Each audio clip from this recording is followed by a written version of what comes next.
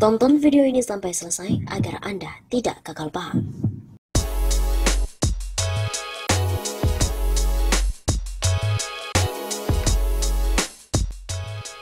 Media Rusia pun ikut bertanya-tanya soal Jokowi jadi King of Lip Service. Media Rusia, Rusia Beyond the Headline atau RBT8 ikut mempertanyakan gelar The King of Lip Service yang disematkan oleh BEM Universitas Indonesia untuk Presiden Joko Widodo. Melalui akun Twitter miliknya di RBTH Indonesia, RBTH edisi Bahasa Indonesia bertanya, sedang ada masalah apa di Indonesia? Pertanyaan itu disampaikan admin RBTH Indonesia merespon dua foto yang diunggah oleh BMUI Official yang memperlihatkan foto Jokowi yang mengenakan jas biru berdiri di podium berlogo burung Garuda. Foto itu dimontage dengan menambahkan mahkota di kepala Jokowi dan gambar bibir merah di latar belakangnya. Tampaknya seorang netizen berusaha menjawab pertanyaan RBTH Indonesia dan mengatakan sesuatu mengenai kardus di gembok. Jawaban itu sudah dihapus oleh sang netizen, sehingga tidak diketahui lagi pemilik akun yang menjawab pertanyaan dari RBTH Indonesia dan jawaban persis yang disampaikannya. Kenapa kardus digembok? Apa tidak cukup pakai selotip? Tanya RBTH Indonesia, seakan semakin penasaran. Pertanyaan ini dijawab pemilik akun @alhamdulillah7 yang lebih unik kalinya plastik terus digembok. Tapi cara melepaskannya gemboknya yang digergaji, bukan plastiknya yang digunting. Tulis akun @alhamdulillah7. Lantas pemilik akun @auriga28th juga menggunakan nama Wong Gemblo menuliskan dirinya mau menjawab pertanyaan dari RBTH, tapi tidak berani min. Nunggu BEM UI official aja yang jawab. Banyak tukang bakso yang lewat. Tulis Wong Gemblo lagi. RBTH Indonesia pun juga belum berhenti. Jangan dong, siapa pun kan boleh berpendapat. Tulisnya sambil menambahkan ikon orang tersenyum dengan pipi merah merona. Yang duduk di atas sana kupingnya gampang panas kalau dikritik. Antara lain, tulis pemilik akun @makmakmak merespon dari akun Twitter RBTH Indonesia. Sementara itu, walau telah dipanggil oleh pihak Rektorat UI dalam rangka pembinaan, namun BEM UI menyatakan tidak akan menghapus meme Jokowi the King of Lip Service dari akun Twitter BEM UI Official. Ketua BEM UI Leon Alvinda Putra mengatakan mereka tidak menghapus tweet itu karena merupakan bagian dari memiliki dasar yang kuat. Seperti diketahui, BEM UI pun lantang kritik Jokowi pakai meme, mereka langsung dapat surat panggilan. Kritikan pedas yang disampaikan oleh BEM UI terkait dengan kepemimpinan Presiden Jokowi berbuntut pada pemanggilan dari pihak kampus. Pemanggilan dilakukan oleh Direktur Kemahasiswaan Universitas Indonesia, Dr. Tito Latif Indra kepada Ketua BEM UI Leon Alvinda Putra beserta beberapa mahasiswa lain. Dalam surat yang bernomor 195 sekian, ada 10 mahasiswa yang dipanggil. Semua mahasiswa yang dipanggil tersebut berasal dari BEM UI. Pemanggilan tersebut berkenaan dengan adanya poster yang diunggah oleh BEM UI di akun media sosialnya berisi meme Presiden Joko Widodo disertai narasi kritikan atas kepemimpinan Jokowi. Sehubungan dengan beredarnya poster yang dikeluarkan oleh BEM UI yang menggunakan foto Presiden RI, maka kami memanggil saudara pada Minggu 27 Juni pukul 3 sore di ruang rapat Ditmawa lantai 1. Demikian keterangan surat tersebut.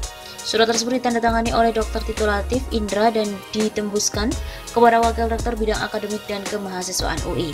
Dalam unggahan sebelumnya, BEM UI menyebut Presiden Joko Widodo adalah presiden yang suka mengobrol janji manis.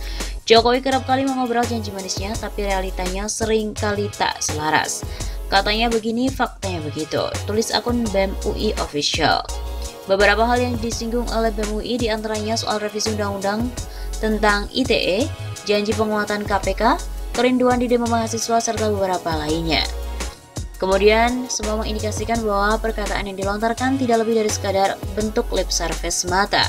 Berhenti membual, rakyat sudah mual. Kritik BEM UI. Tak itu, unggahan BEM UI juga turut menyertakan beberapa meme gambar Presiden Joko Widodo, seperti halnya gambar Presiden Jokowi di atas mimbar pidato dan disertai sebuah mahkota di kepala.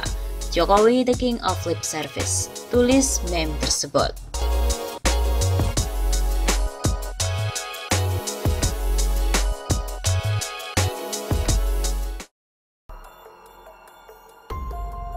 BEM UI trending topik minta Jokowi stop membual rakyat sudah mual. Badan Eksekutif Mahasiswa Universitas Indonesia atau BEM UI trending topik nomor satu di Twitter Indonesia Minggu 27 Juni.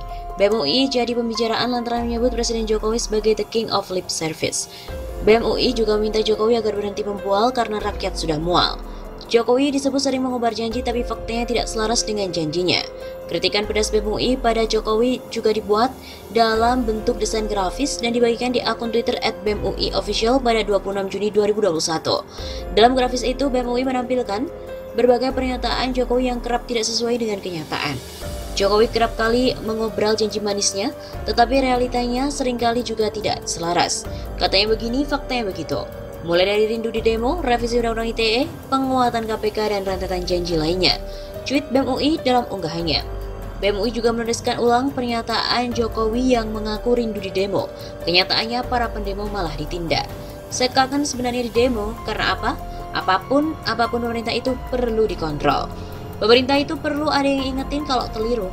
Jadi kalau enggak ada yang demo itu keliru. Jadi sekarang saya sering ngomong di mana-mana, tolong saya di demo.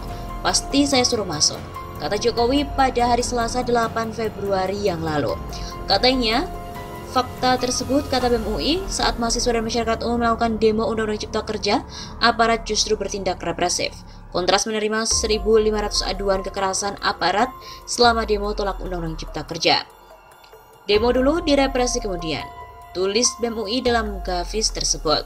Pada grafis lainnya, BEM UI juga menampilkan celotehan Jokowi yang menampilkan janji akan memperkuat KPK. Faktanya deretan pelemahan KPK dari revisi undang-undang, kontroversi Firly Bahuri hingga tes tertulis status ASN, begitu tulis BEM UI. Semua mengindikasikan bahwa perkataan dilontarkan tidak lebih dari sekedar bentuk lip service mata. Berhenti membual, rakyat sudah mual. Bambang Wijoyanto pun juga memuji BEM UI. Unggahan akun Twitter BEM UI itu diapresiasi oleh ex-wakil ketua KPK Bambang Wijoyanto. Bambang Wijoyanto memuji BEM UI melalui akun Twitter pribadinya @kata_bw. Bambang mengaku teringat dengan potongan puisi karya penyair legendaris Indonesia W.S. Rendra saat membaca cuitan BEM UI itu. Terima kasih BEM UI, mantul bingits. Jadi ingat Rendra, katanya, Kesadaran adalah matahari, kesuburan adalah bumi. Keberanian menjadi cakrawala dan perjuangan adalah pelaksanaan dari kata-kata. Tulis Bambang Wijoyanto. Bambang Wijoyanto juga merefleksikan kondisi terkini ketika banyak rakyat yang menderita akibat pandemi COVID. Di sisi lain, sikap pemerintah dalam menangani pandemi menurutnya patut dipertanyakan. Inikah yang dirasa rakyat? Ketika ada begitu banyak dahak, dada nyaris meledak, kerongkongan seolah tersedak, mestinya tidak bisa diatasi dengan ginjo, apalagi sekedar bedak. Cuit Bambang Wijayanto.